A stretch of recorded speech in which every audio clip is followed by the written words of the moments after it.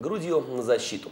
Именно так звучит тема нашего сегодняшнего эфира. Задаем вопрос нашим телезрителям, э, в каких ситуациях, э, в каких моментах вы готовы встать грудью на защиту, на защиту кого, чего и как. Да? Но не всегда э, простому человеку по силам защитить да, своих Себя, любимых, да. свою семью, да даже пойдем шире, свою компанию, свой бизнес. Да? Поэтому мы зачастую обращаемся за услугами всевозможные агентства, всевозможные компании, всевозможные конторы. Друзья, об одном из агентств мы поговорим прямо сейчас вместе с нашей гостью. Давайте знакомиться. А, Юлия Тросиненко, юрист Э, юридического агентства Юрайт. Э, здравствуйте, Юлия. Здравствуйте.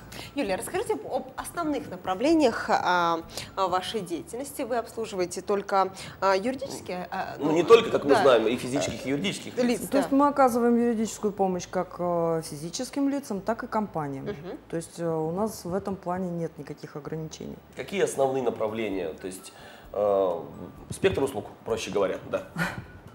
Ну, достаточно широкий.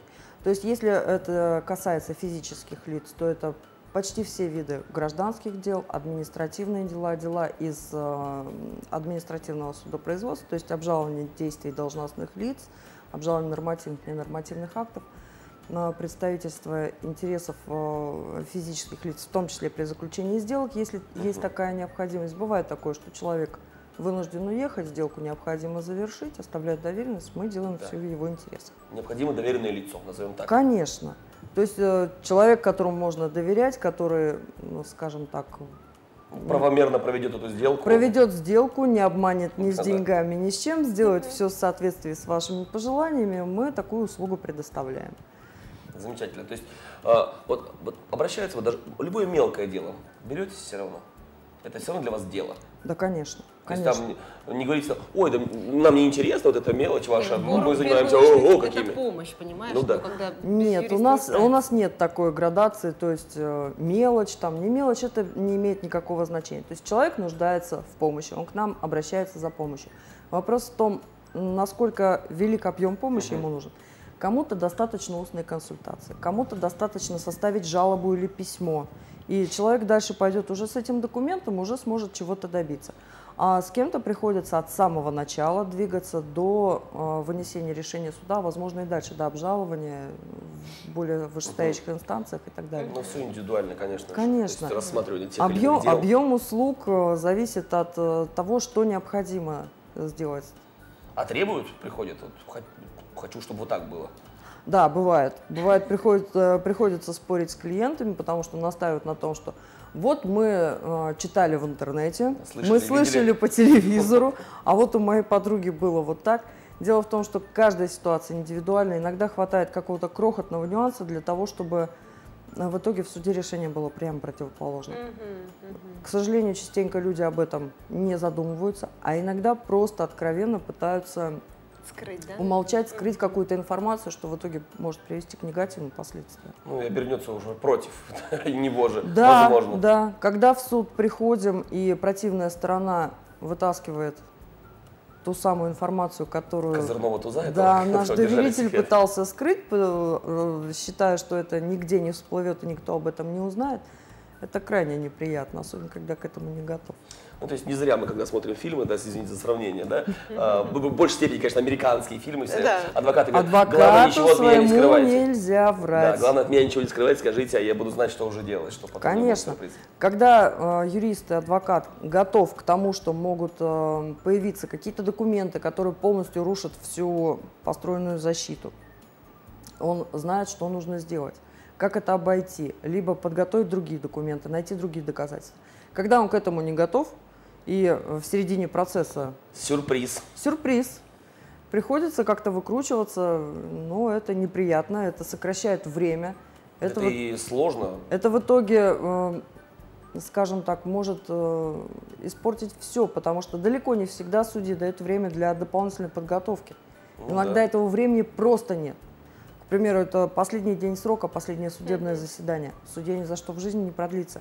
Придется не уже ориентироваться на месте, а это ну, это тоже, да. 100% успех. Не всегда. Э, плюс. Юрист не ходящая энциклопедия, чтобы сразу вот выдать информацию на гора. Или защиту построить за две минуты быстренько. это, это только в кино так бывает. Да, монтаж. Что касается юридических э, лиц, ладно, раз уж поговорили про физические, юридическим лицам какие, какой спектр услуг оказываете? Юридическим лицам, то есть э, самые, э, скажем так, простые это сопровождение э, деятельности, проверка договоров, составление э, форм договоров, э, проверка подписания актов выполненных работ, претензионная работа, работа представительства в арбитраже, а также сопровождение банкротства. Э, Сейчас ведем три компании Мгм. на, на стадии банкротства.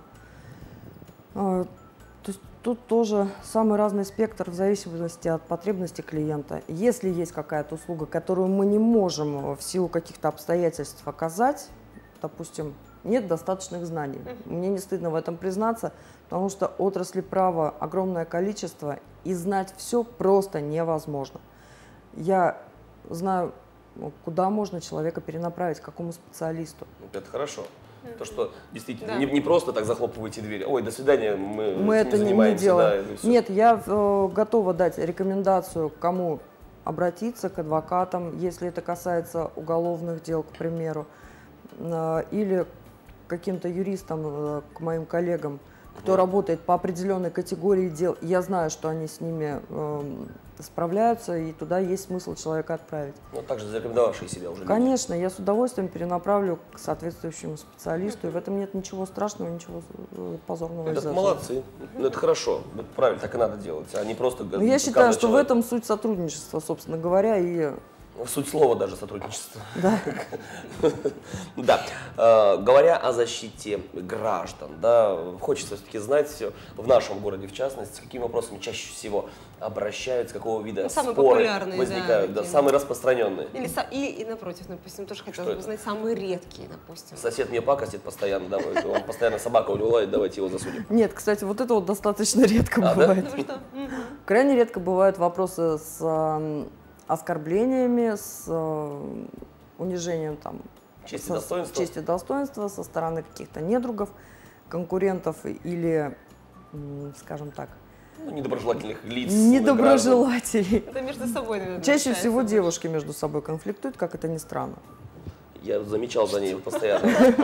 Я вроде сижу, а она иногда нет, нет, нет покоситься. В, на ито- меня. в итоге это заканчивается ну, такими курьезными случаями, но удается все это без судов Это вот разобрать. буквально вот э, вчера, если я не ошибаюсь, то есть на улице, где-то ну, в нашем городе, подрались не совсем адекватные э, А, трезвые да, девушки. Две, две леди Две на дороге. леди и э, падение на асфальт, разбитая голова, бессознательное состояние, все, и вот она.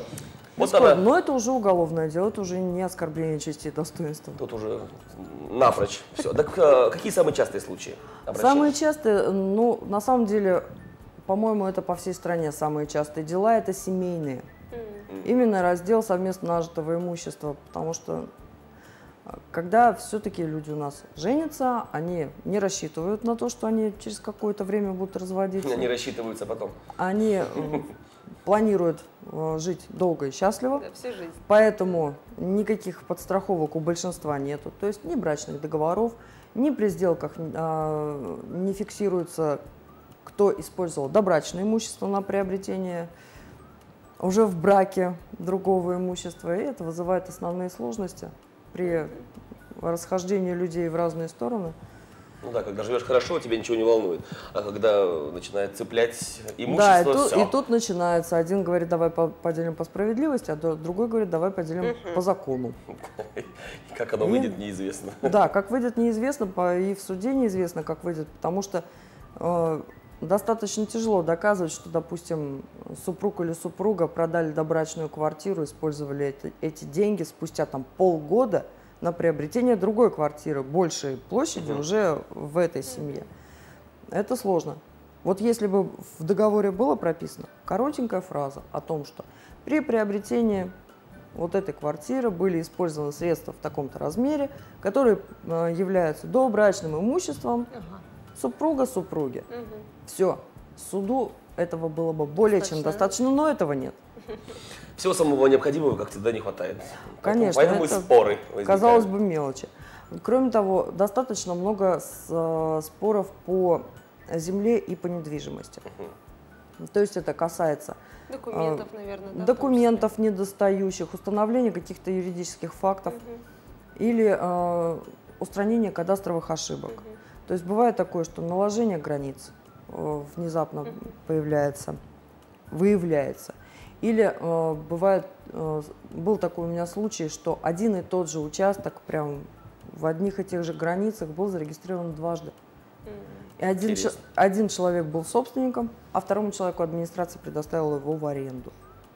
И вот мы в суде доказывали, что это один и тот же участок, и все-таки он должен принадлежать собственнику, а с арендатором необходимо расторгнуть договор. То есть бывают такие Ну, Даже ситуации. нелепые какие-то, да, порой? Да, бывает, что э, в результате какой-то ошибки э, при составлении кадастрового плана или схемы земельного участка, земельный участок у нас оказывался перевернутый в зеркальном отражении. То есть все казалось бы правильно, если его перевернуть. Поставить на место. Да, поставить на место и немножечко изменить координаты. То есть конфигурация та самая, но расположение на карте в зеркальном отражении. Корявенько. В то же время все меняется ведь кардинально, казалось бы, да? То есть Ну, ж- в общем, да, это же и споры с соседями, Да. это и заборы, водоотводы, все что угодно. Да, столько, э, то есть не было бы э, счастья, да несчастье помогло. Да. Ну, что касается вот э, доверия, недоверия граждан, да, все-таки все думают, ох, этих контор, этих агентов, куда мы пойдем, не Юристов, пойдем мы да. туда, мы сами сейчас все сделаем, э, там они ничего не знают, ничего. С неким недоверием в кавычках, да, относится, ну, я так, может быть, считаю, может быть, я говорю опрометчивые громкие слова. Как успокоить граждан, как их направить э, к себе, чтобы они пришли э, и не потеряли, скажем так, э, свою половину бюджета. Ну, на самом деле, тут сложно сказать. Мы можем сколько угодно бить себя в грудь и доказывать, что мы одни из лучших, мы готовы вам помогать, мы согласны с вами работать. Но э, на самом деле тут вопрос в том, что люди все равно в итоге идут, э, хоть у нас город вроде бы не сильно маленький, Мгм. полмиллиона населения, идут по рекомендациям. По рекомендациям своих друзей, знакомых, Ну, так называемое сарафанное радио продолжает работать усердно. Всегда. И всегда. Это лучшая реклама. То есть наши довольные клиенты приводят за собой еще клиентов, возвращаются сами с любыми вопросами. Частенько просто банальный звонок, пятиминутная коротенькая консультация, люди довольны. И слава богу. Консульта- Консультация бесплатная? Консультации, э, большинство консультаций Да. бесплатные, есть консультации сложные, которые требуют времени и разбирательств, эти уже консультации Мгм. платные.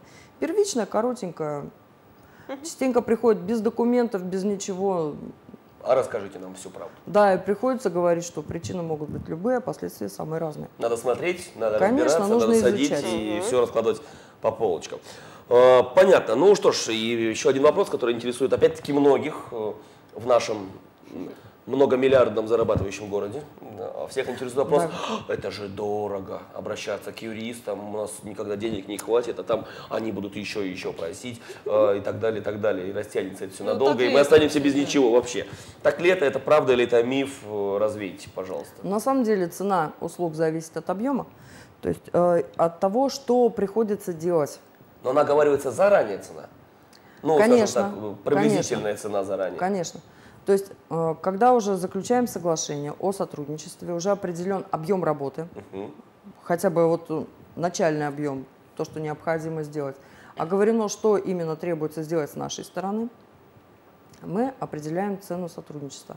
Иногда цена возрастает, но это уже не всегда зависит от нас, потому что возникают дополнительные расходы, например, на проведение экспертиз, на какие-то платные запросы, э, те же выписки из Росреестра. Но еще адекватные расходы, которые За- действительно необходимы, они выдуманные из Конечно, конечно. Это не то, что вот мы подумали и решили, что это будет стоить дороже.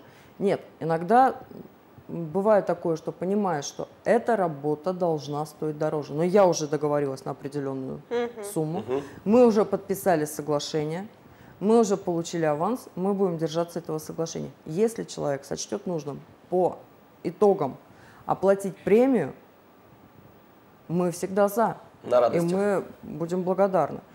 Потому что нужно осознавать, что э, частенько по нашим делам мы защищаем интересы людей, то, допустим, в области недвижимости или при взыскании долгов.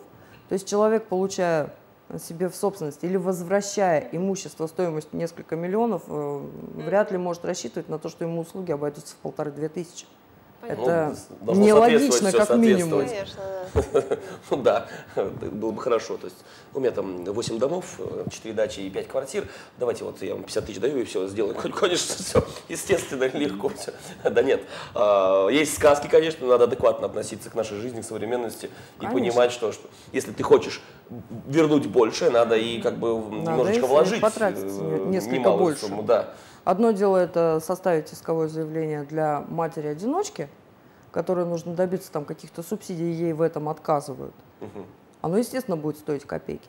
Другое дело добиться возвращения в э, собственность, м, Ну, скажем так, особняка там не особняка или производственного комплекса. То есть вот у меня были дела, где я восстанавливала право собственности на производственные базы. Соответственно, а, цена вопроса совершенно разная.